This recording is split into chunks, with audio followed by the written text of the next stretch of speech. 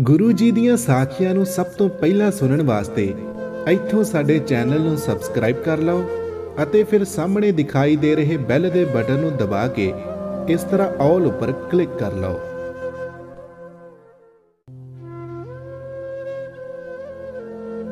ਇੱਕ ਵਾਰੀ ਸ੍ਰੀ ਗੁਰੂ ਨਾਨਕ ਦੇਵ ਜੀ ਦੁਨੀਆ ਦਾ ਕਲਿਆਣ ਕਰਨ ਲਈ ਯਾਤਰਾ ਕਰਦੇ ਕਰਦੇ ਆਪਣੇ ਇੱਕ ਸੇਵਕ ਦੇ ਘਰ ਪਹੁੰਚੇ।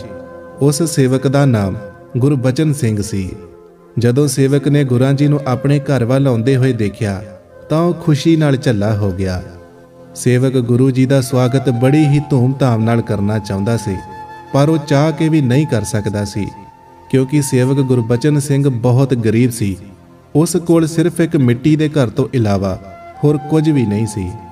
ਸੇਵਕ ਗੁਰਬਚਨ ਸਿੰਘ ਨੇ ਗੁਰੂ ਜੀ ਅਤੇ ਭਾਈ ਮਰਦਾਨੇ ਦਾ ਬੜੀ ਹੀ ਖੁਸ਼ੀ ਨਾਲ ਆਦਰ ਸਤਿਕਾਰ ਕੀਤਾ।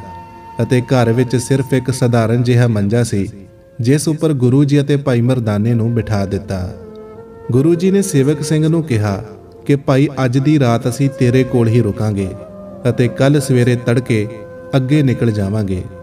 ਗੁਰੂ ਜੀ ਦੇ ਮੂੰਹੋਂ ਇਹ ਸ਼ਬਦ ਸੁਣ ਕੇ ਸੇਵਕ ਬਹੁਤ ਖੁਸ਼ ਹੋਇਆ ਅਤੇ ਨਿਮਾਣਾ ਜਿਹਾ ਹੋ ਕੇ ਗੁਰੂ ਜੀ ਦੇ ਚਰਨਾਂ ਉੱਪਰ ਡਿੱਗ ਪਿਆ। ਉਸ ਸੇਵਕ ਦੇ ਘਰ ਖਾਣ ਲਈ ਕੁਝ ਜ਼ਿਆਦਾ ਨਹੀਂ ਸੀ, ਪਰ ਜੋ ਵੀ ਹੈਗਾ ਸੀ ਉਹ ਉਸਨੇ ਬੜੇ ਹੀ ਆਦਰ ਸਤਿਕਾਰ ਦੇ ਨਾਲ ਗੁਰਾਂ ਜੀ ਦੇ ਸਾਹਮਣੇ ਭੇਟ ਕਰ ਦਿੱਤਾ। ਭਾਈ ਮਰਦਾਨੇ ਨੂੰ ਉਸ ਸੇਵਕ ਦੀ ਗਰੀਬੀ ਵੇਖ ਕੇ ਬਹੁਤ ਤਰਸ ਆਇਆ ਕਿ ਇਸ ਬੰਦੇ ਕੋਲ ਜੋ ਵੀ ਥੋੜਾ ਬਹੁਤ ਹੈਗਾ ਸੀ, ਉਹ ਇਸਨੇ ਸਾਡੇ ਸਾਹਮਣੇ ਰੱਖ ਦਿੱਤਾ ਹੈ।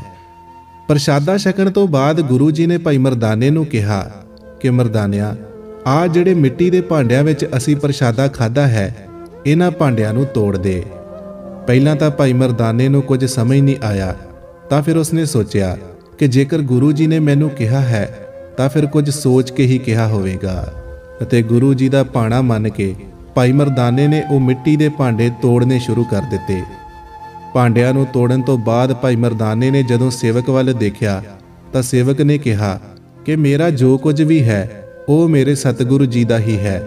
ਸਤਿਗੁਰੂ ਜੋ ਵੀ ਤੁਹਾਨੂੰ ਹੁਕਮ ਕਰ ਰਹੇ ਹਨ, ਤੁਸੀਂ ਉਹੀ ਕਰੋ। ਜਿਸ ਤੋਂ ਬਾਅਦ ਗੁਰੂ ਜੀ ਦੇ ਕਹਿਣ ਉੱਤੇ ਭਾਈ ਮਰਦਾਨੇ ਨੇ ਉਸ ਸੇਵਕ ਦੇ ਘਰ ਦੀਆਂ ਬਾਕੀ ਚੀਜ਼ਾਂ ਵੀ ਤੋੜਨੀਆਂ ਸ਼ੁਰੂ ਕਰ ਦਿੱਤੀਆਂ।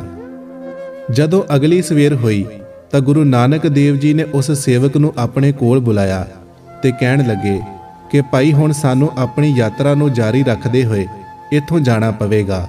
ਤਾਂ ਸੇਵਕ ਨੇ ਕਿਹਾ ਕਿ ਗੁਰੂ ਜੀ, ਤੁਸੀਂ ਮੇਰੇ ਗਰੀਬ ਘਰ ਵਿੱਚ ਆਪਣੇ ਪਵਿੱਤਰ ਚਰਨ ਪਾਏ ਹਨ, ਤਾਂ ਮੈਂ ਨਿਹਾਲ ਹੋ ਗਿਆ ਹਾਂ।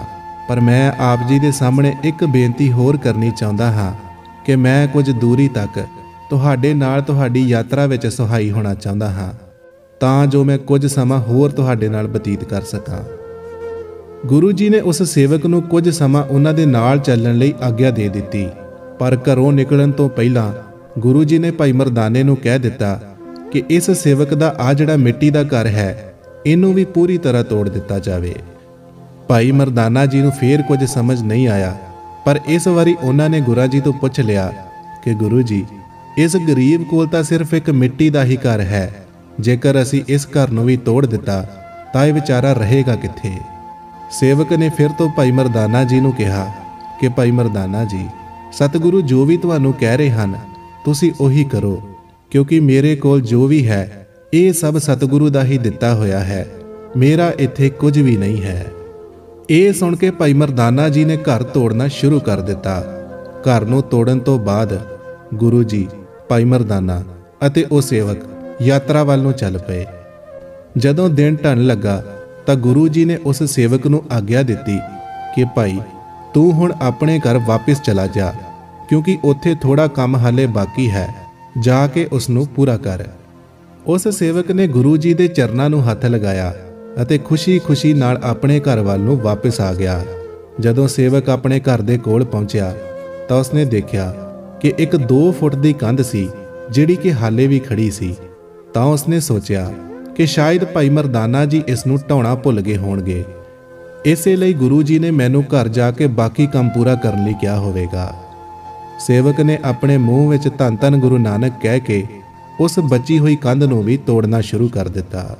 ਜਦੋਂ ਉਸਨੇ ਕੰਧ ਨੂੰ ਢਾਉਣਾ ਸ਼ੁਰੂ ਕੀਤਾ, ਤਾਂ ਉਸਨੇ ਦੇਖਿਆ ਕਿ ਕੰਧ ਦੀ ਜਿਹੜੀ ਥੱਲੇ ਵਾਲੀ ਜ਼ਮੀਨ ਹੈ, ਉਹ ਬਹੁਤ ਕਮਜ਼ੋਰ ਹੈ। ਤੇ ਜਦੋਂ ਉਸਨੇ ਉਸ ਜਗ੍ਹਾ ਨੂੰ ਸਾਫ਼ ਕਰਕੇ ਦੇਖਿਆ, ਤਾਂ ਤਾਂ ਉਸ ਦੇ ਥੱਲੇ ਇੱਕ ਸੋਨੇ ਦੀ ਖਾਨ ਸੀ, ਜਿਸ ਨੂੰ ਦੇਖ ਕੇ ਉਹ ਸੇਵਕ ਬਹੁਤ ਖੁਸ਼ ਹੋਇਆ ਅਤੇ ਹੈਰਾਨ ਵੀ ਹੋਇਆ ਕਿ ਕਿੰਨਿਆਂ ਸਾਲਾਂ ਤੋਂ ਉਹ ਇੱਕ ਸੋਨੇ ਦੀ ਖਾਨ ਦੇ ਉੱਪਰ ਰਹਿ ਰਿਹਾ ਸੀ। ਗੁਰੂ ਨਾਨਕ ਦੇਵ ਜੀ ਦੇ ਆਸ਼ੀਰਵਾਦ ਦੇ ਨਾਲ ਉਸ ਸੇਵਕ ਦੀ ਜ਼ਿੰਦਗੀ ਬਦਲ ਗਈ। ਗੁਰੂ ਪਿਆਰਿਓ ਗੁਰੂ ਨਾਨਕ ਦੇਵ ਜੀ ਦੀ ਇਸ ਸਾਖੀ ਤੋਂ ਸਾਨੂੰ ਇਹ ਸਿੱਖਿਆ ਮਿਲਦੀ ਹੈ ਕਿ ਪ੍ਰਮਾਤਮਾ ਜਦੋਂ ਵੀ ਸਾਡੇ ਨਾਲ ਕੁਝ ਬੁਰਾ ਕਰਦਾ ਹੈ, ਤਾਂ ਉਹ ਸਾਡੇ ਚੰਗੇ ਲਈ ਹੀ ਕਰਦਾ ਹੈ।